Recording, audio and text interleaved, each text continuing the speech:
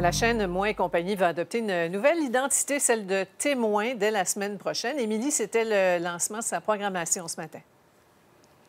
Oui, Sophie, d'ailleurs, à partir du 9 avril prochain, donc dans une semaine, la chaîne va être débrouillée pour tout le monde. Vous allez pouvoir l'essayer et je vous le dis, vous allez adorer cette euh, nouvelle chaîne qui fait simplement changer de nom. Donc, ça s'appelle Témoin et ben on vous offre en fait une programmation riche en histoire sensationnelle, en histoire crue, sans tabou, avec notamment des séries de la, fiction basée sur des faits vécus aussi et des documentaires. On offre aussi une production originale pilotée par Jean-Luc Brassard qui commence dès la semaine prochaine.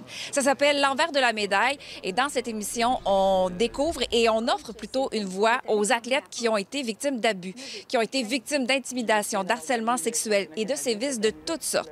D'ailleurs, dans cette émission, ben, on a témoignages, des témoignages bouleversants, choquants, même surprenants, parce que ce sont des athlètes qu'on connaît depuis très longtemps et qui nous racontent leur histoire sans filtre. Et justement, l'une de ces athlètes, c'est Sylvie Fréchette, qui, même encore ce matin, on la sentait très émotive quand elle mm. nous parlait justement de ce projet auquel elle a participé. On l'écoute. Si moi, je le fais pas, qui va le faire? Qu'est-ce que j'ai à perdre, dans le fond? de voir autant de jeunes athlètes aujourd'hui se questionner ou encore avoir le courage de dénoncer, bien, je me dis, si moi, je peux juste les inspirer à le faire, je peux être la grande sœur qui les protège, qui les guide, bien, ça, je suis prête à faire ça.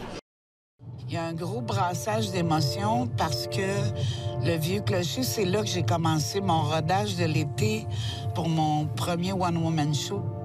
Wow! Ça rappelle tellement de souvenirs.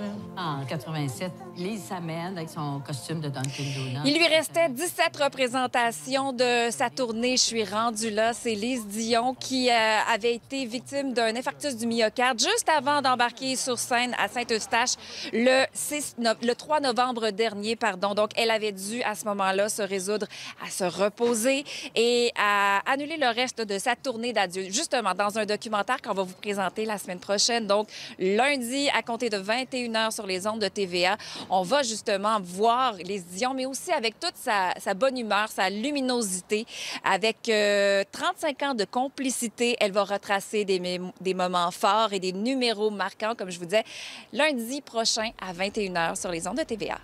Merci beaucoup, Émilie.